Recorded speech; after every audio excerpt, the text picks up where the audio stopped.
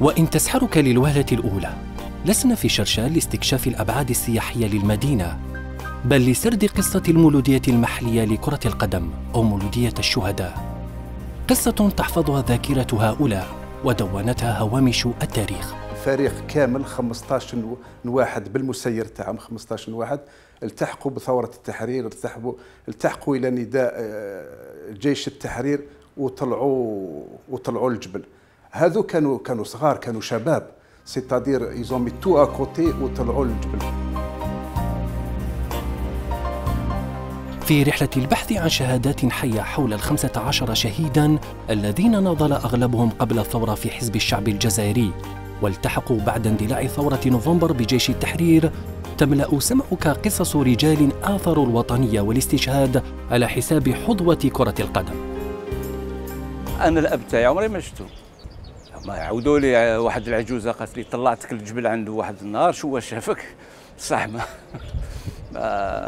فهمت. رحت عند هذيك العجوزة سقسيتها قالت لي c'est vrai طلعتك عنده لا وشافك و...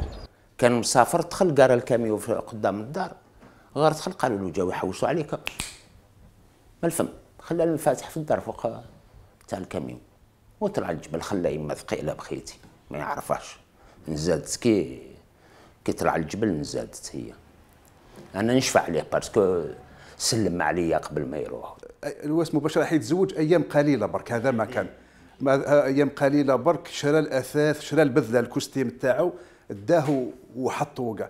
كي وصلت فصلت آه، وقت الحسم يخير بين إنشاء عائلة ولا يطلع للجبل ويضحي ما راش رايح سوريا يعاود يرجع ولا ما يرجعش.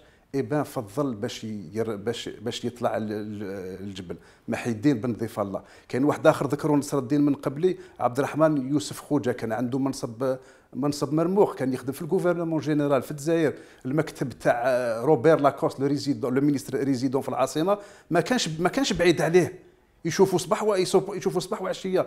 دا الكوارت دا لي كارديتا ماجور وطلع وطلع الجبل. ورغم هذا بقيت تضحية فريق مولودية شرشال مجهولة عند معظم الجزائريين. انحصرت بين المنطقة وأهلها.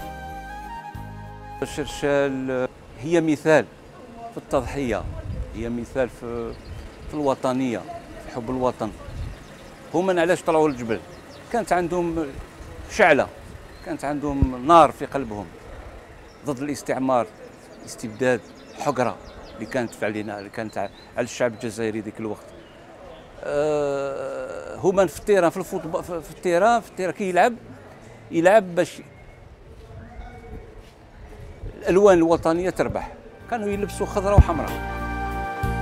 مدينة شرشال الساحلية ارتوت أرضها بدماء رجال أدركوا أن لا حواجز بين الرياضة والنضال السياسي وفريق الشهداء يرسخ هذا المعنى لجيل ما بعد الاستقلال.